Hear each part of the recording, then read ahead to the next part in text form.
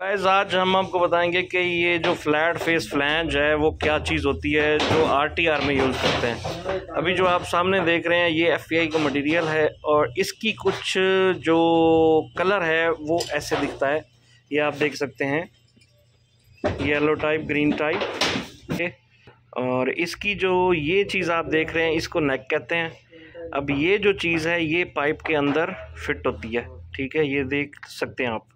उसके बाद जनाब आपको बताएँ इसकी जो फ्लैट है फेस जो है इसका वो बिल्कुल फ्लैट है। ये चेक कर सकते हैं आप। इसके ऊपर कोई ग्रूव नहीं है लेकिन अगर आप एमियंटेड के पाइप फ्लैंजेस चेक करें तो उसके ऊपर ग्रूव्स भी होते हैं। तो वो भी एक्सेप्टेबल हैं क्योंकि जब आपकी गैस किट यहाँ पे बैठती है तो वो बिल्कुल प्रॉपर तरीके से बैठती है और उसको ज़बरदस्त ग्रिप करती है। ठीक है? तो इसके जो अब आप ये जो होल देख रहे हैं। अच्छा मैं आपको बता रहा था ये जो होल आपको नज़र आ रहे हैं one two three four five six seven eight इसके अंदर आते हैं स्टड बोर्ड्स या फिर मशीन बोर्ड्स ठीक है यहाँ तक आपको मुझे उम्मीद है समझ आ गई होगी इसको फ्लैट फेस फ्लैंच कहते हैं। अब इसकी स्पेसिफिकेशन की जानब चलते हैं। तो आपको दिखाता हूँ कि इसकी स्पेसिफिकेशन क्या होती है। ये देखें, आपको इसके ऊपर एक टैग लगा नज़र आएगा, जिसके अंदर कंपनी का नाम भी लिखा हुआ है और साथ में डेट और साइन हुए हुए हैं, ठीक है? उसके बाद अगर आप देखें तो यहाँ पे ये पूरी डिटेल के साथ इसके नंबर वगैरह लिखे हुए हैं कंपनी का नाम वगैरह लिखा हुआ है और नीचे अगर आप देखें तो ये एक यूनिक नंबर होता है। ये हर फ्लैंज का अपना एक सेपरेट नंबर होगा।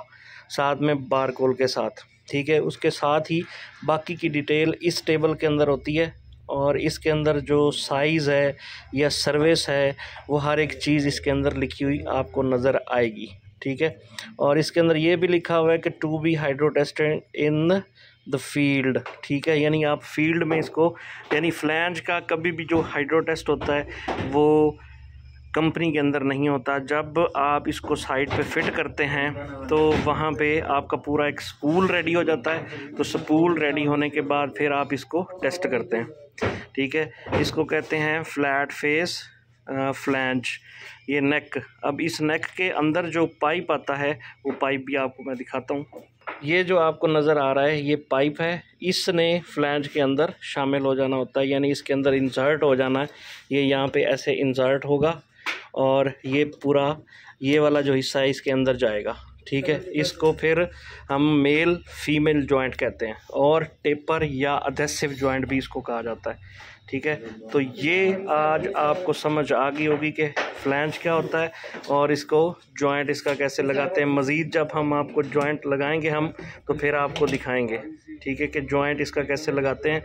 क्योंकि ये जो सर्विस है, अभी जिसके लिए हम लोग यूज़ कर रहे हैं, ये ऑयली सर्विस है ऑयली वाटर सर्विस और इसका हाइड्रो टेस्ट नहीं होता, इसका ग्रेविटी टेस्ट होता है। ग्रेविटी टेस्ट होगा लीक टेस्ट होगा, उसके बाद हम चेक करेंगे कि जो आपका जॉइंट है, उसके अंदर कोई लीकेज तो नहीं है।